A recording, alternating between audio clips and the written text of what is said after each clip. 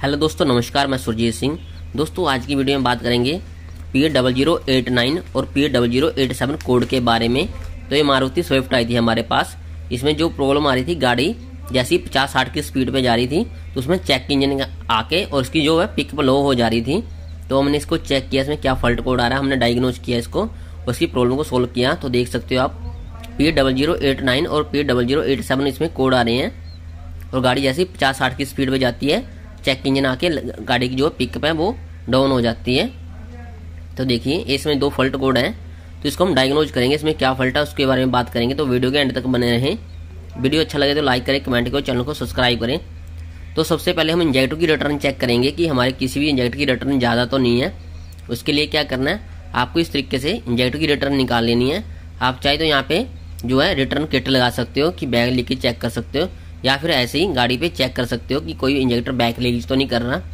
तो देखिए, हमने इस तरीके से, दोनों तरीके से मैं चेक कर लिया। तो इंजेक्टर की बैक लीकेज नहीं थी, बिल्कुल ओके थी। तो चारों इंजेक्टर की बैक बिल्कुल प्रॉपर आ रही थी तो इसमें इंजेक्टर में प्रॉब्लम नहीं थी। तो सबसे पहले हमने इसका, जो है इंजेक्टर चेक किया कि इसमें बैक लीकेज वगैरह तो नहीं है।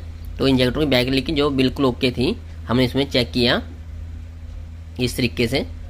उसके बाद हमने इंजेक्टर चेक करने के बाद, इसका आगे का प्रोसेस वो देखा कि इसकी जो प्रॉब्लम है कहाँ पर आ रही है। तो हमने इंजेक्टर को ऐसे चीज़ जो है फिट कर दिया है। आप देख सकते हो इसकी रिटर्न जो बिल्कुल नॉर्मल आ रही है, ज़्यादा नहीं है।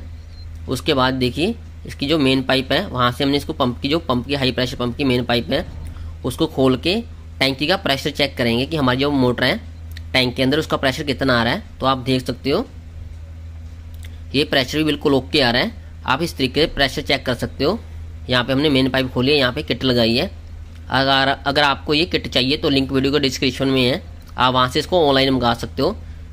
छः सात सौ रुपये की किट आ जाती है, टैंक का प्रेशर चेक करने की। तो आप उसको चेक कर सकते हो, लिंक वीडियो के डिस्क्रिप्शन में है। तो आपने क्या करना है, इस तरीके से लगाना है। ये थोड़ा कॉस्टली आती है, बोश वाली। इसके साथ की मैंने लिंक दे रखा है। देखिए, यहाँ पे हमारा प्रेशर जो बिल्कुल ओके आ रहा है, वो भी बिल्कुल इसके साथ की किट है, वो लिंक वीडियो के डिस्क्रिप्शन में है। तो आप इस तरीके से टैंक का मोटर प्रेशर चेक कर सकते हो। कि हमारी जो टैंक की मोटर वो कितना प्रेशर दे रही है। तो दोस्तों, देखिए, हमारा टैंक का प्रेशर भी ओके है। हमारा जो इंजेक्टर की रिटर्न है, वो भी बिल्कुल ओके है। उसके बाद जो इसकी प्रॉब्लम थी, उसको हमने सोल्व किया और गाड़ी को चलाया तो गाड़ी बिल्कुल ओके हो गई थी। प्रॉब्लम कहाँ थी, उसके बारे में बताएँगे। तो सबसे पहले इसका जो हाई प्रेशर पंप है, उसको चेक कर लेते हैं कि हमारा जो पंप है, वो कितना प्रेशर बना रहा है। तो यहाँ पे देखिए, हमने डेल्फी जो किट आती है डायग्नोस किट डेल्फी की, वो हमने यहाँ पे लगाई है। अभी हम क्रैंकिंग करेंगे। तीन से पाँच सेकंड की क्रैंकिंग करेंगे और देखेंगे हमारा जो पंप है हाई प्रेशर पंप है, वो कितना प्रेशर बना रहा है, वो चेक करेंगे। तो सबसे पहले आपने क्या करना है, इस तरीके से किट लगा लेनी है और उसका जो मीटर होता है उसको लगा के चेक करना है कि हमारा जो प्रेशर कितना बन रहा है पंप में। तो यहाँ पे देखिए अभी ज़ीरो बार का प्रेशर है, जैसे ही क्रैंकिंग करेंगे, यहाँ पे प्रेशर बनना शुरू हो जाएगा। तो देखिए, यहाँ पे हम प्रेशर चेक करते हैं। जैसे ही क्रैंकिंग करेंगे तो यहाँ पे हमारा प्रेशर जो बिल्कुल ओके बन रहा है। तो यहाँ पे क्रैंकिंग के टाइम आपका तीन से पाँच सेकेंड में हज़ार प्लस प्रेशर हो जाना चाहिए। दोबारा चेक करते हैं तो देखिए। तो यहाँ पे हमारा प्रेशर जो बिल्कुल ओके बन रहा है, इसका मतलब हमारा पंप भी बिल्कुल ओके है। पंप रेल इंजेक्टर और टैंक का पंप बिल्कुल ओके है। आप इस तरीके से चेक कर सकते हो। हमने इसको पूरा डायग्नोज किया, इसकी जो प्रॉब्लम थी उसको सोल्व कर दिया। तो आप इस तरीके से भी चेक कर सकते हो। और उसकी जो फॉल्ट कोड थी उसको हमने क्लियर किया। तो देख, यहाँ पे देख सकते हो आप, इसकी जो फॉल्ट कोड थे, उसको हम क्लियर कर देते हैं एक बार। तो यहाँ पे थोड़ा टाइम लगता है। तो आप किसी भी स्कैनर से इसके फॉल्ट कोड है, वो क्लियर कर सकते हो। तो यहाँ पे देखिए, कोई कोड नहीं आ रहा अब। और गाड़ी की ट्राई करते हैं। इसमें क्या प्रॉब्लम थी वो भी बताएँगे तो वीडियो के एंड तक बने रहें। तो हमने गाड़ी की ट्राई की, आप देख सकते हो वीडियो में। गाड़ी को हमने अच्छे से चलाया, सौ, एक सौ बीस की स्पीड पर चलाया।